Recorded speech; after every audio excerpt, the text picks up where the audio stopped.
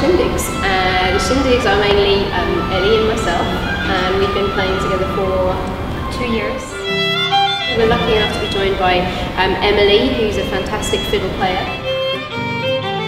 Ryan on bass. Can't forget Brian. Brian is also So important. sound guy who's currently setting up for this evening.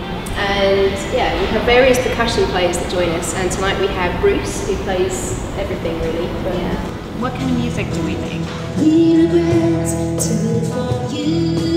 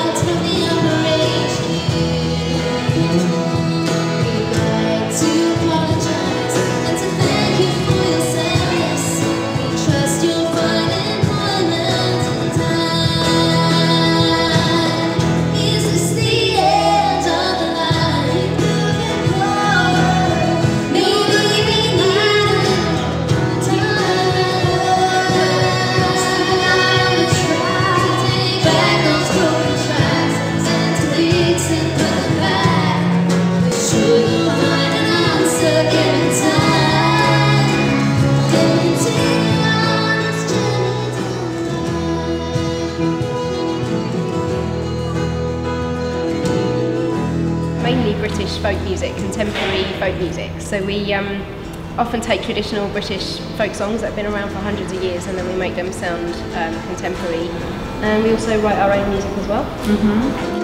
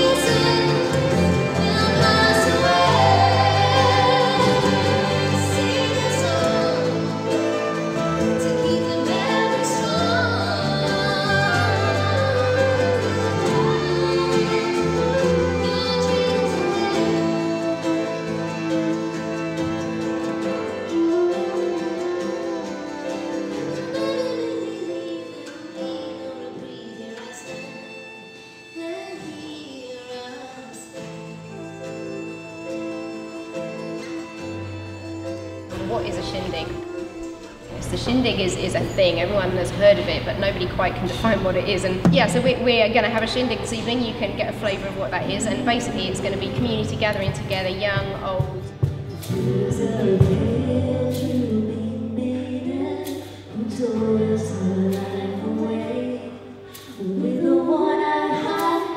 Bitter